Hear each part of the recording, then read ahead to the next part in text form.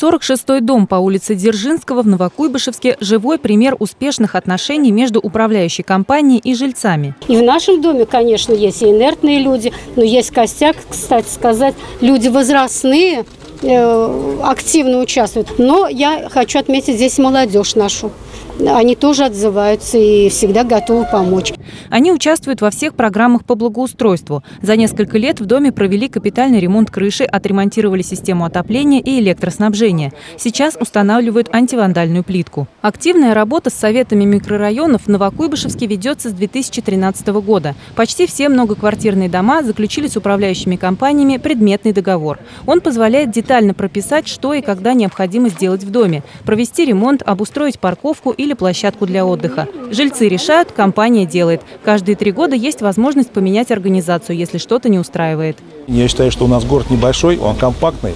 И вот это взаимодействие, какое-то соседское взаимоотношение э, соседей между собой, оно как раз подталкивает всех на благоустройство, на хорошее содержание дворовых территорий. Опыт Новокуйбышевска будет полезным для Самары, отметили участники выездного совещания – депутаты, сотрудники администрации и коммунальных предприятий. Самара немножечко должна сдвинуться вперед. Общественные советы микрорайонов э, у нас работают всего несколько месяцев, поэтому нам очень важно было посмотреть опыт Новокуйбышевска. Новокуйбышевск уже работает пятый год в системе общественных советов микрорайонов.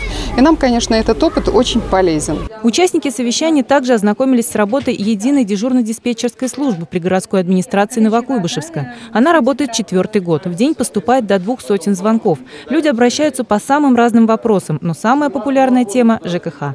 Допустим, у человека прорвало трубу. Человек звонит к нам в колл-центр, заявка принимается и незамедлительно направляется на службу. То есть э, в зависимости от времени суток либо аварийная служба, либо управляющая компания. Опыт Новокуйбышевска назвали уникальным. Им может воспользоваться любой район Самары. Ключевые основы успешного развития жилищных отношений возьмут на вооружение все 355 общественных советов микрорайонов. Олеся Корецкая, Константин Головин. События.